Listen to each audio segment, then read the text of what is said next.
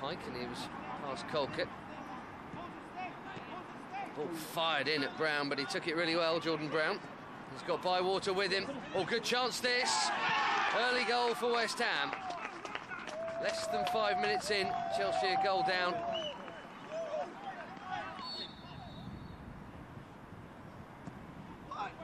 Floated in is a dangerous one, and Abraham probably should have done a bit better. One of three schoolboys in today.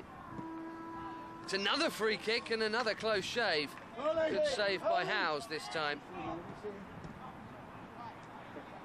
Ball by Nasha. Pike again on the gallop into Cullen. Cullen still going, and now it's Brown. It's two. Chelsea haven't been beaten in a couple of months, but two down here in the first half. It's Jordan Brown who's made one, and now he's scored one. Heading forward.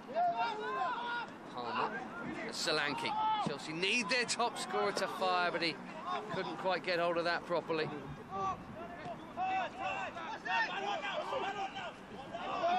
Pack, neatly done. And a good ball. Great chance for three, not taken. Clipped the post, did Brown's shot. Pump up field and Kandi all the way through, maybe cheeky Kandi. Not dead yet either, oh, it's the bar.